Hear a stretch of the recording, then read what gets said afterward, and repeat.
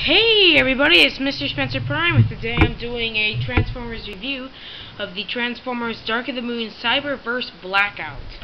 So basically he is his normal uh, helicopter and he does come with a Scorponok, which is nice.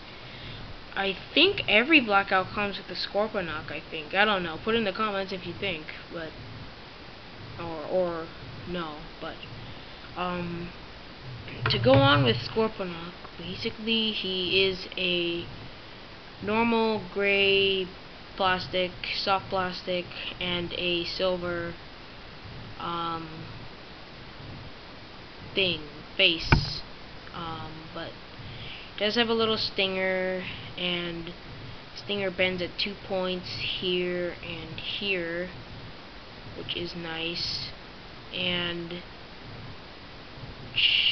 because he's a fine figure, but um, Blackout is basically uh, all purple with some silver here, and then black windows, and then some yellow lining around the windows. And the helicopter blades do spin.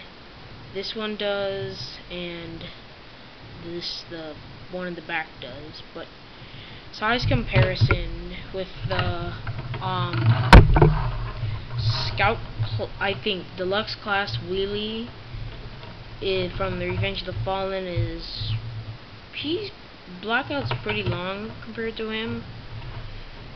And also with the McDonald's Class animated Ratchet, I think that's animated.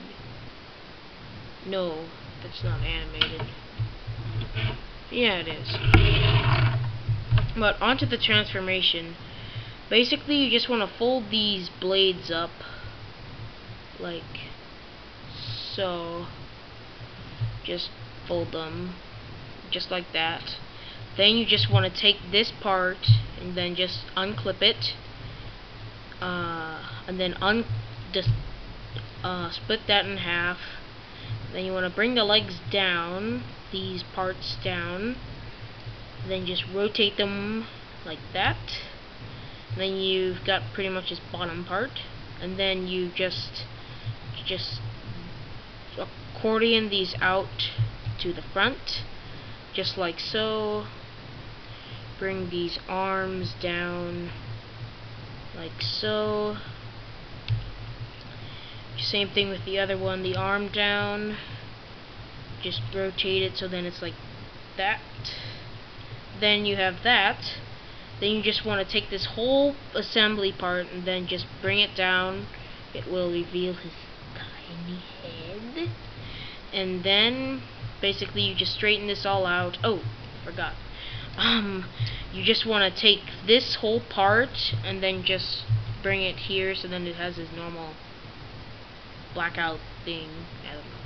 Then you just want to again bring the blades down in the back and then just fix it all up like that.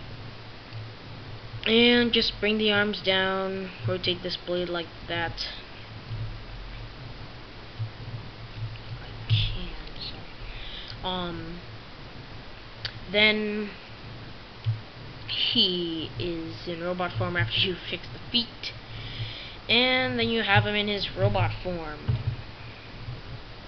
He is a cool figure. I do like him in his robot form. His legs may be a little bit skinny, like that, but you know, it's a little figure, you know, not that much, but he does have a, in my opinion, he has a very cool um, little form in his robot. But I do like him a lot. But here he is with McDonald's Ratchet. He is pretty big, actually, this guy. But um, you can take Scorponok here and what you do is you bring up you take this silver part and then just extend it, just rotate it out, and then do this the stinger, this tab, will go into this hole, I think. Yeah. Um, and then you just tab it together, and then he's a gun. You can take this handle. For mine, I don't know what happened. He can't hold Scorponok in mine.